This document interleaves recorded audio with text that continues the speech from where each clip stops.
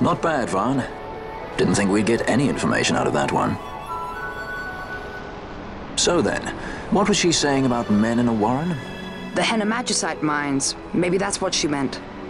They lie in Bancour, south of the Ozmone Plain. The entire region is a colony of the Archadian Empire. There would be soldiers. Is that a problem? Let's move. Fran, Yes? I was wondering what Jote said, you know? About how you said the same thing 50 years ago? Your point? Uh, how old were you again?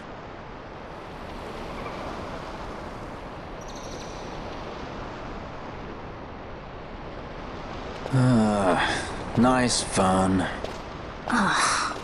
Surprisingly rude. Try to grow up, please.